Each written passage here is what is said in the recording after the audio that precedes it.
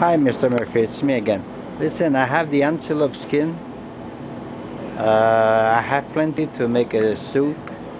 Uh, as you can see, we have two two type of the skins. You see, this one is with the white flank. Uh, the uh, similar, they, they they similar. All the skin are similar, but this one is like a spotted. This one, as you can see, and this one is like a I don't know, another design. See, it's more like a, the tiger, this one, okay?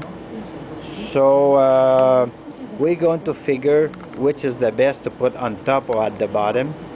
And uh, I think if you would like, I think we have enough skins to make a pair of boot.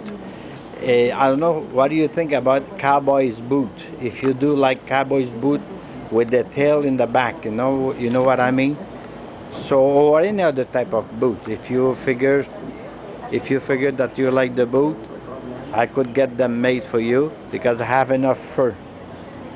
So it's not a crazy price to get them made. Okay? So Olivier will send you over the over the, the video.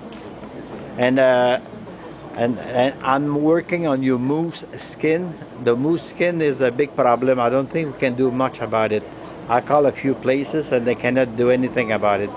But uh, I'm looking if I could find two skin new and see if I could get them to be done. Okay, so I keep in touch. Bye.